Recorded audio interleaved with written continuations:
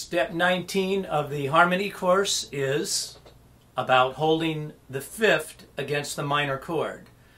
So if you've been following the harmony course up to this point in time, you now have just finished the last of the three intervals related to the minor chord and previously worked on the three intervals related to the major chord, holding your part, and obviously also the whole breakdown of all of the intervals uh, earlier in the course. So at this point in time, you should be pretty proficient in holding the intervals, knowing your note recognition melody lines, being able to hold your part of a root, third, and fifth to both major and minor chords once you get the this fifth out of the way here. And that's all really good because here in the harmony course, these are the basics and the and I wanted to take the time to really make you spend that extra effort on getting these basics down.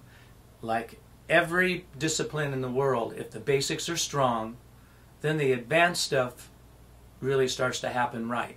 But if your basics are not strong, the advanced stuff doesn't matter because you don't have a foundation to settle on. So get these together. So at this point in time, you should be pretty proficient in holding the intervals, knowing your note recognition melody lines, being able to hold your part of a root, third, and fifth to both major and minor chords once you get the this fifth out of the way here.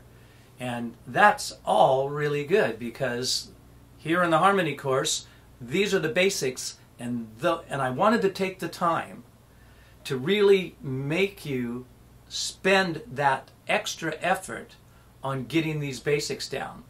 Like every discipline in the world, if the basics are strong, then the advanced stuff really starts to happen right.